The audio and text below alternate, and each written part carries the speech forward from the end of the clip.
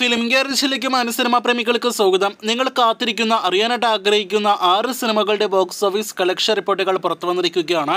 അതിൽ ആദ്യത്തെ സിനിമ സൗബിന്റെ horror comedy entertainer cinema Romancham എന്ന സിനിമയാണ്. രണ്ട് കോടിയിൽ താഴെ മാത്രം ബഡ്ജറ്റ് കണക്കാക്കുന്ന സിനിമ വലിയ വിജയം നേടിയെടുത്ത വിവരം നിങ്ങൾ ഇതിനോടകം തന്നെ അറിഞ്ഞിരിക്കുമല്ലോ. ഇപ്പോഴത്തെ രോമാഞ്ചം എന്ന സിനിമ ഇരുപതാം ദിവസത്തിലേക്ക് കടക്കുമ്പോൾ ലോകമെമ്പാട് നിന്നും നാൽപ്പത്തി അഞ്ച് കോടിക്ക് മുകളിലെ ഗ്രോസ് കളക്ഷൻ നേടിയെടുത്തിരിക്കുകയാണ്. ഈ വരുന്ന ഞായറാഴ്ചയോടെ സിനിമ അൻപത് കോടിയിലേക്ക് എത്തുമെന്ന് തന്നെയാണ് നിലവിൽ നമ്മുടെ പ്രതീക്ഷ.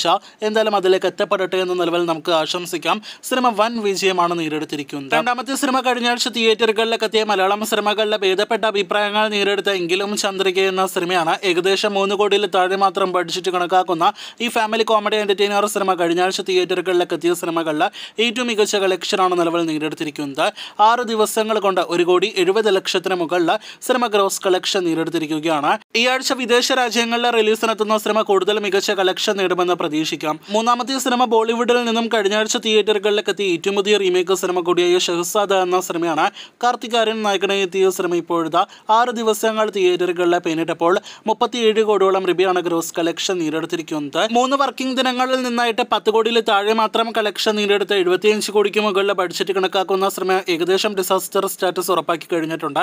നാളെ തിയേറ്ററുകളിലേക്ക് എത്തുന്ന അക്ഷയ് കുമാർ സിനിമയുടെ അഭിപ്രായത്തോടു കൂടിയായിരിക്കും. ഈ സിനിമയുടെ അന്തിമ വിധി അതല്ലെങ്കിൽ സിനിമയുടെ ഫൈനൽ സ്റ്റാറ്റസ് അറിയാനായിട്ട് കഴിയുക. അടുത്ത സിനിമ വാത്തി എന്ന സിനിമയാണ്. ധനുഷ് നായകനെ എത്തിയ സിനിമ ആറ് ദിവസങ്ങൾ തിയേറ്ററുകളിലെ പിന്നിട്ടപ്പോൾ മികച്ചൊരു കളക്ഷൻ സിനിമ നേടിയെടുത്ത് തിയേറ്ററുകളിലെ വിജയ സ്റ്റാറ്റസ് ഉറപ്പാക്കി കഴിഞ്ഞിരിക്കുകയാണ്. ആറ് ദിവസങ്ങൾ കൊണ്ട് അറുപത്തിയഞ്ച് കോടിക്ക് മുകളിലെ ഗ്രോസ് കളക്ഷൻ സിനിമ നേടിയെടുത്തിരിക്കുകയാണ്. ഇരുപത്തിയഞ്ച് കോടി ബഡ്ജറ്റ് കണക്കാക്കുന്ന സിനിമയുടെ ലോകമെമ്പാടുമുള്ള തിയേറ്റർ റൈറ്റ്സ് വിറ്റഴിക്കപ്പെട്ടത് മുപ്പത്തിയഞ്ച് കോടി രൂപയ്ക്കാണ്. നിലവിൽ ഷെയർ കളക്ഷൻ മുപ്പത്തിനാല് കോടിയിലേക്ക് എത്തപ്പെട്ട സിനിമ രണ്ട് കോടിക്ക് മുകളിലെ ഷെയർ കളക്ഷൻ നേടിയെടുത്താൽ വിജയമാകും. അത് ഇന്നത്തെയോ നാളത്തെയോ കളക്ഷനോടെ നേടിയെടുക്കുമെന്ന കാര്യത്തിൽ യാതൊരു സംശയവും വേണ്ട. സിനിമ സൂപ്പർ ഹിറ്റിലേക്ക് കുതിക്കുന്നു. അടുത്ത സിനിമ മമ്മൂക്കിയുടെ ക്രിസ്റ്റഫർ ആണ് ഇൻവെസ്റ്റിഗേഷൻ ത്രില്ലർ സിനിമയുടെ തിയേറ്ററുകളിലേക്ക് എത്തിയ ക്രിസ്റ്റഫർ തിയേറ്ററുകളിൽ ഏകദേശം ഫൈനൽ റണ്ണിലേക്ക് എത്തപ്പെട്ട് കഴിഞ്ഞിരിക്കുകയാണ്.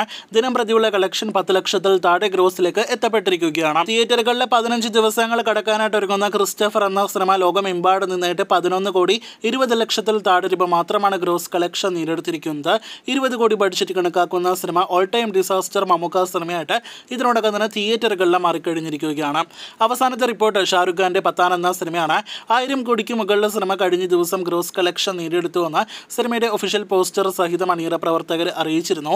ആയിരം കോടിയിലേക്ക് എത്തപ്പെട്ടതോടെ സിനിമയുടെ ദിനംപ്രതിയുള്ള ഒഫീഷ്യൽ കളക്ഷൻ പോസ്റ്ററുകൾ വരുന്നത് നിർത്തിയിരിക്കുകയാണ് സിനിമയുടെ അണിയറ പ്രവർത്തകർ. വൈ ആർ എഫ് നിർമ്മിച്ച സിനിമയുടെ ഏറ്റവും പുതിയ world wide box office collection report പുറത്തു വരുമ്പോൾ അറുന്നൂറ് കോടിക്ക് മുകളിലെ ഗ്രോസ് കളക്ഷൻ ഇന്ത്യയിൽ നിന്ന് മാത്രം നേടിയെടുത്ത സിനിമ ലോകമെമ്പാടും നിന്നും ആയിരത്തി അഞ്ച് കോടിയോളം രൂപ ഗ്രോസ് കളക്ഷൻ നേടിയെടുത്തിരിക്കുകയാണ് ഇരുന്നൂറ്റി അൻപത് കോടി ബഡ്ജറ്റ് കണക്കാക്കുന്ന സിനിമ ഷാറുഖിന്റെ കരിയറിൽ തന്നെ റെക്കോർഡ് വിജയം കളക്ഷൻ എല്ലാം തന്നെ നേടിയെടുക്കുന്ന സിനിമയായിട്ട് മാറിയിരിക്കുകയാണ്. കൂടുതൽ കളക്ഷൻ റിപ്പോർട്ടുകൾ കേട്ട് കാത്തിരിക്കൂ.